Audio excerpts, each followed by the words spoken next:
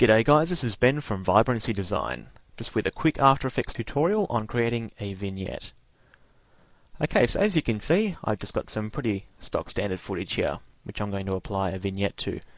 Now the way which I usually um, work through this is to create an adjustment layer with my vignette sitting on it.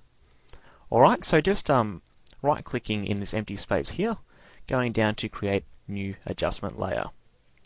Now with that selected we can hit return or enter and that will bring up that. We can just uh, rename it. I usually just go VG for vignette. Alright, so now we're heading over to the effects and presets thing. If that's not here, you can uh, find that sitting right there and just type curves. Alright, now with that one still selected, double click on here and this will bring this up.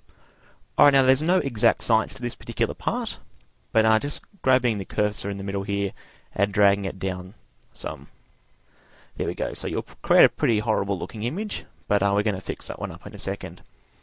Alright, so that's pretty much all you need to do with that. Okay, so now with this part still selected, going up to our uh, rectangle mask tool here, click and hold, select the ellipse tool, and once that's selected, then just simply double click, which will create a ring like that. Okay, the next thing to do, now this part should have already opened up for you, so just change this part from add to subtract, and that's going to invert the way the mask acts on this layer. Alright, so as you can see we have a fairly brilliant vignette, and we're finished. Wait a second, no, this isn't quite right. So let's go back and change this. Alright, so with this layer selected, hit MM, which will bring up all the properties for the mask which you just created. Okay, under Mask Feather, just click this and drag it to the right. Now there's no exact number here, but I usually find somewhere around 1 to 200 works well. Okay, and as you can see, we've got ourselves a fairly uh, soft vignette there. I might actually push that a bit further. Cool, so that's looking pretty good. And that's really all there is to it. As you can see, it just goes around. And the beauty of a vignette like this is that it's uh, completely editable. You can turn it on and off.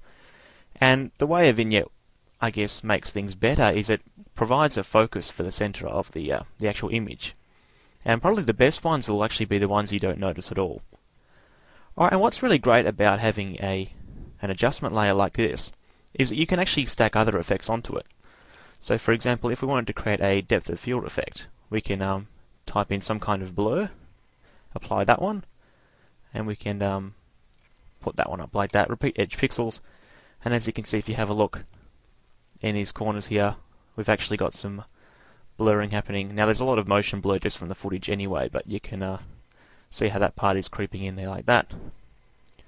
Okay, so this is all pretty straightforward, and um, with a little bit of work you can actually get some nice results.